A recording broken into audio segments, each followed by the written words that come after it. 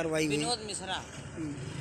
तो हमारे पति के जन बतौन वो कई के मैंने एक्सीडेंट कई के और बाद उन्हें बैठाए लीन लेके गई जौन बतौन बेवा बेवा हम पहुँचन तो वहाँ क्यों नाई साहेब रहा। दू घंटा के बाद वो पहुँचिन वहाँ। और ओकरे के बाद हम रो गाँव। तो क्या अ, उनकी लाप वहाँ से लेके हम आया नहीं है कहीं वाल्टरगंज थाने पर वहाँ हम लिखाए लगन उनका नाव कहीं की उनका नाम नाई लिख जाई। ये जो बताओ ना एफ़ आई आर नाई हुए ये वो एप्लीकेशन आपने नामजद तहरीर दी थी? हाँ हम नाम जद ध्यान लिख के बाकी वो का नाई दाखिल किए तो पुलिस मामले का अल्पीकरण कर रही है? हाँ।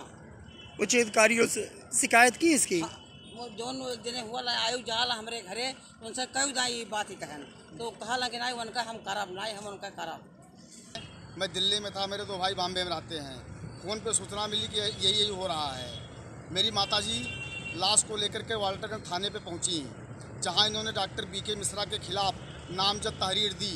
इसके बावजूद कुछ देर बाद उन लोगों ने एक अप्लीकेशन पे मेरे माताजी से एक आके अंगूठा लगवाया कि ये पोस्टमार्टम के लिए अनिवार्य है। अगर इस पर अंगूठा नहीं लगाओगी तो इनकी लाश यहीं पर सड़ जाएगी पोस्टमार्टम नहीं होगा।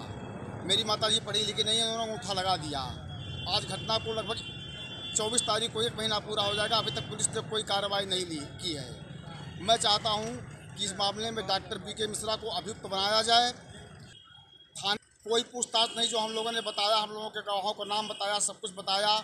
उसके बावजूद भी पुलिस ये कह रही है कि ड्राइवर अज्ञात है और लाश मैंने घटनास्थल से बरामद की अज्ञात में मुकदमा पंजीकृत कर दिया। अज्ञात में मुकदमा पंजीकृत कर लिए जबकि हमने प्रार्थना पत्र में आवेदन पत्र में डॉक्टर बी के मिश्रा का नाम दिया था। जहाँ पुलिस पे आरोप लग रहा है कि वो मामले का अल्पीकरण कर रही है।